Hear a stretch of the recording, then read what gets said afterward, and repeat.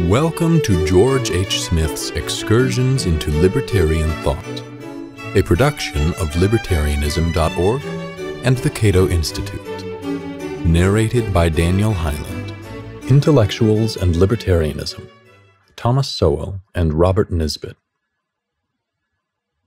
In Knowledge and Decisions, 1980, Thomas Sowell claims that the delegation of decision making to experts has become the central feature of the intellectual's vision of political and social decision making. Economists and other social scientists often portray themselves as disinterested advisors, as efficiency experts in effect, whose advice should be heeded by those in positions of political power. Why have people been willing to surrender so much power to economists, sociologists, psychologists, educators, and other self proclaimed experts in the realm of human action. Sowell has some interesting observations on this topic. It has seldom been because of any demonstrated success. Crime rates have soared as the theories of criminologists were put into practice. Educational test scores have plummeted as new educational theories were tried. Indeed, no small part of the intellectual's achievement has been in keeping empirical verification off the agenda.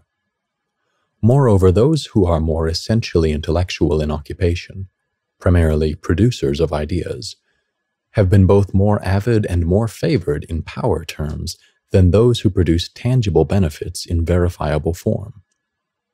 It is not the agronomists, physicians, or engineers who have risen to power, but the sociologists, psychologists, and legal theorists. It is the latter group who have transformed the political and social landscape in the United States and much of the Western world. Not only is much of their cognitive output inherently unverifiable empirically, they have, by various definitions and axiomatic procedures, made their output even less susceptible of authentication than it would be otherwise. The jargon alone in these fields makes their substance largely inaccessible to outsiders. Transitionism explains away all disastrous consequences as the short run price for long run triumph. They have conquered by faith rather than works. This is hardly surprising in the light of similar achievements by religious intellectuals who preceded them by centuries. Whatever has made human beings eager to hear those who claim to know the future has worked for modern as well as ancient intellectuals. Social science experts, according to Sowell, are the modern secular equivalents of a priestly class, but with this difference. Social scientists, riding on the prestige of the physical or hard sciences, claim to render objective judgments, free from personal bias or values, about what will promote the good of society, or sometimes humanity as a whole. Intellectuals who associate with governments typically pride themselves on their objectivity, especially when opposing what they characterize as special interest groups. But such intellectuals have merely hidden their personal values under the mantle of science. In truth, they are just another special interest group with a political agenda. The late Robert Nisbet a prominent American sociologist who, though usually called a conservative, had strong libertarian tendencies, had some rather harsh things to say about his colleagues who disguised their political values as objective science and who sought to ensconce themselves in positions of power. In 1982, Nisbet published a terse commentary in his book Prejudices on the social sciences and their role in modern American society. Economics, long considered the most successful of the social sciences, was raised to a near aristocratic level in the late 1930s, owing to the tremendous influence of John Maynard Keynes. It was in the 1950s, however, when economics achieved the prestigious reputation of an exact mathematical science that the services of professional economists were eagerly sought by politicians. By the late 1950s, social sciences other than economics also enjoyed tremendous prestige. And money rolled in from both governmental and private sources, such as the Ford Foundation, with billions in assets. Other foundations rallied, and by the middle of the 1950s, it was a rare social scientist of quality who did not have the perquisites of status that physical scientists had known from the beginning of World War II. Research institutes mushroomed in the social sciences. Offices became ever more luxurious, their occupants ever more engaged in research, consultation, government advising, travel from conference to conference all over the world, in just about everything but the teaching of undergraduates a responsibility increasingly turned over to graduate students and technicians. The prestige of some social sciences began to decline precipitously in the 1960s, reaching a low point in the following decade. By 1970, what a sociologist, political scientist, social psychologist, or anthropologist said on any subject whatever was, for the American people generally, a matter of no consequence. The credibility they had enjoyed for nearly two decades after World War II was in tatters, their numbers depleted, and their capital assets nearly gone. Now that economics has joined them, the drama is over, the rise and fall of the social sciences complete. Why had the public prestige of the social sciences suffered a dramatic setback by 1982, the year Nisbet published his comments? Social scientists, Nisbet points out, typically gave three standard and self serving reasons. First, social scientists complained of insufficient funds. To this, Nisbet replies that abundant funds have never been a condition of progress throughout the history of the physical sciences. Second, we were told that the social sciences, unlike the physical sciences, are still in their infancy, so we must forgive their many mistakes.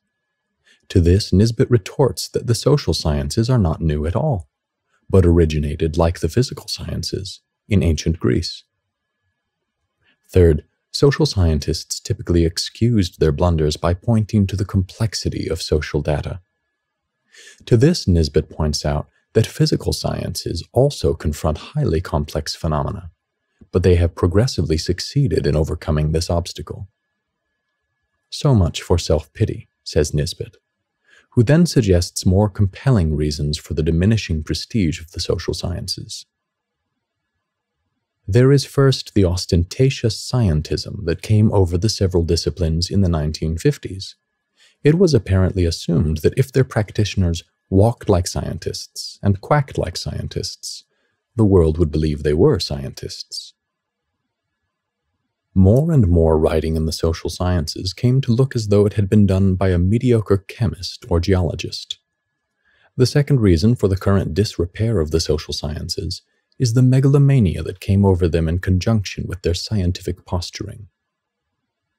As early as the 1950s, only a few years after the social studies had begun dressing up like sciences, there was the cry for such monstrosities as a National Academy of Social Science a National Endowment for Social Science, and a National Social Science Foundation. Further cries went up for such positions as Social Science Advisor to the President in Washington. The land overflowed with the complacency of the social scientists.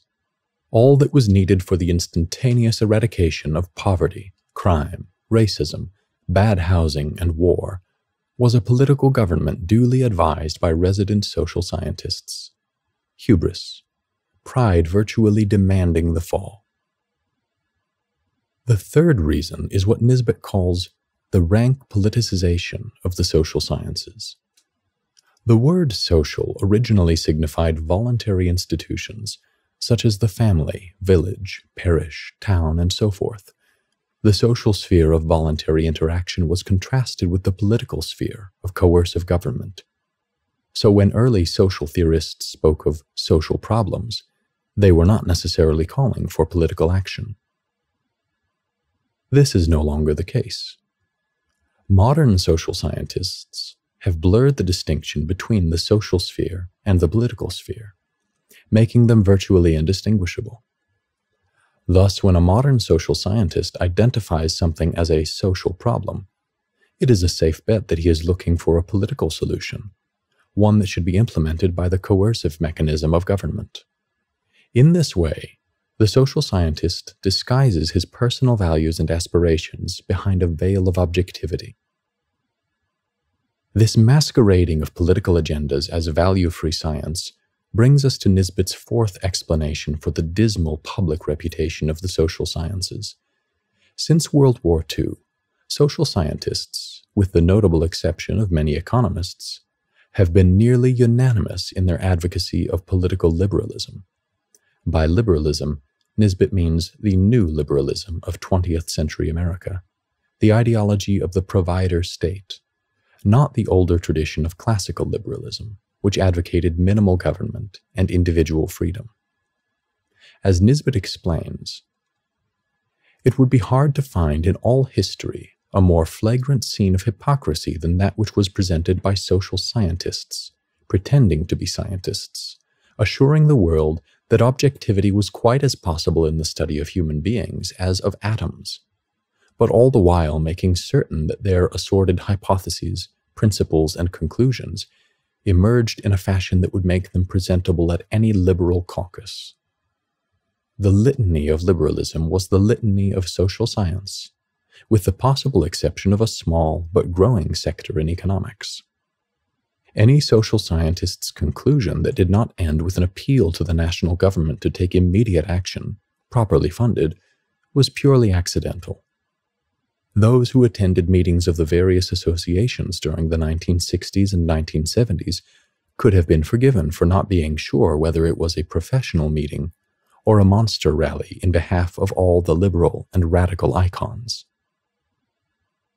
The public prestige of the social sciences has probably increased since Nisbet wrote these remarks in 1982, but little else has changed. Indeed, if anything, the social sciences have become even more politicized. Today, it is scarcely possible to open a serious magazine or newspaper, or watch a television news program, without encountering some political, social, or psychological expert who offers his or her opinion scientific, of course, on the latest trendy social crisis. Moreover, the results of a scientific study or survey will often be cited and accepted as gospel, as if the imprimatur of a prestigious university, think tank, or governmental agency automatically guarantees its accuracy. Especially relevant for libertarians is Nisbet's observation that the boundary line between the social and the political has virtually disappeared in modern discourse. This had long been a crucial distinction for individualist thinkers, such as John Locke, Thomas Paine, and Thomas Jefferson, who clearly differentiated the voluntary realm of society from the coercive realm of government. Given this distinction, to engage in social science or to discuss social problems did not necessarily carry political implications. Jefferson, for example, believed that city life tends to weaken moral values, but he did not call upon government to solve this social problem. A social problem was just that an undesirable consequence of voluntary interaction. And a social problem called for a social solution, i.e., a voluntary, cooperative effort by concerned parties to bring about a better state of affairs. Today, of course, the situation is much different. For many people, especially politicians, merely to identify something as a social problem is implicitly to suggest that government should impose a coercive solution. Faith in the efficacy of coercive methods, a belief dear to those whom the sociologist Robert Merton dubbed bureaucratic intellectuals, was characterized by Herbert Spencer one of the founders of modern sociology, as the great political superstition. This is the magical belief that a group of individuals calling itself a government can bring about results that would be impossible for those ordinary mortals who act, whether individually or in concert with others, by voluntary means.